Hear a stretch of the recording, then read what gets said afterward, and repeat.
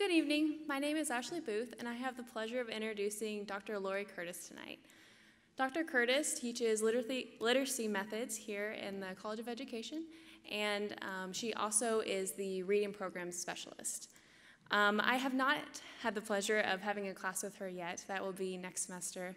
Um, but she is the faculty advisor for KNEA, um, where she encourages us in our profession and getting into the schools and really spreading um, our desires to be the best teacher that we could possibly be.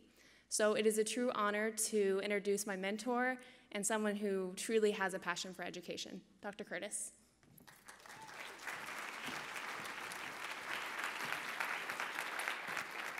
Thank you. And um, tonight I'm going to have the opportunity, well, actually, at just five minutes of opportunity to share with you some of the lessons that I have learned that I've tried to bring back to my classroom at Kansas State University. And these are lessons that I've learned from some international literacy outreach work that I've been doing. And actually, the journey started quite close to where we are. I was at an elementary school in Junction City, and I saw a poster on the wall, and it said, If we don't model what we're teaching, we're teaching something else.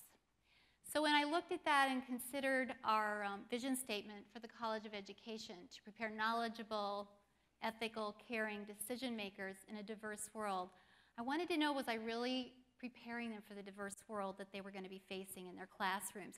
So I took some lessons from some opportunities I've had. And when I went to Ethiopia for a month on a Fulbright Hays Group Projects Abroad um, program that Dr. Jacqueline Spears in our college had written, and we spent uh, a month in Ethiopia with 12 educators from across the United States. And I went as the literacy consultant because we were writing social studies and literacy curriculum, but I learned the biggest lesson of all from this man.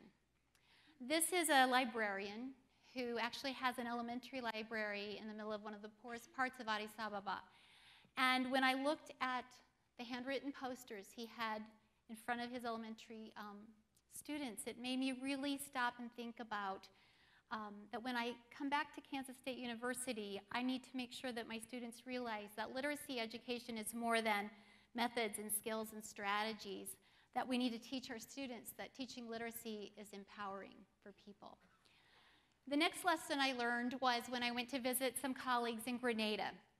I went down to Grenada because they had um, participated in a USAID funded grant um, called the CETT Initiative.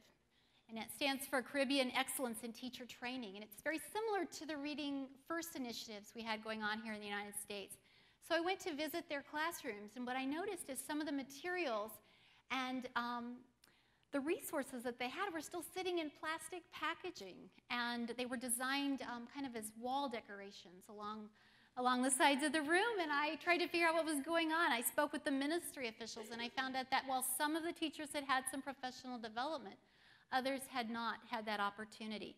And so while I went down and provided some professional development for some literacy instruction for their teachers, um, what I learned in working with these who became colleagues is I was able to connect them with students at Kansas State University, the reading specialists I had in my program, with the reading teachers there and other reading teachers in the state of Kansas. Because what I wanted my students to see is that continuing your professional development in whatever career field you're in is critical to you being a lifelong learner, and collaboration is key. And the last lesson that I learned was back in Ethiopia just last May. I was asked to um, go for a, a very small window of time. I graded my finals, I put my grades into ISIS, I got on a plane and had to be back to teach summer school. So I was asked to go um, as a consultant with Ethiopia Reads, a nonprofit, to try to help them or inform a project that they wanted to start, a three-year professional development project. So I landed on a Friday night, went out to dinner with the Ethiopia Reads volunteer who had traveled with me to find out that they'd kind of had a change of plans. I was going to visit the schools like I had planned, but then they decided to have a conference. And it was going to be a three-day conference, and I was the conference. And I would have never gotten on the plane had I known that when I started on this journey. Um, and this was their idea. The first day, um, well, first everything had to be translated into Amharic. So I only really had half the time I needed. And the, the largest challenge for me was similar to trying to get this talk into five minutes tonight is how do you take what you know and make it relevant for an audience when you have such a limited amount of time? And so um, everything I had to say, I had to make sure these young ladies understood what I was saying. Um, the first day, they brought 100 people from all regions of Ethiopia into Addis Ababa, and we were in a fairly large lecture hall. Day two, we broke them up into small groups where they actually got to apply some of the things that I had tried to teach them. Um, and then on day three, I went out into the schools and I worked because you know, if you don't model what you teach, you might be teaching something else. I wanted to show them these things could work. So we went out into the schools, and um, the children participated, and they lined all of the participants, the adult teachers and librarians, over in the corners and along the edges. The children learned. Um, but I learned most of all.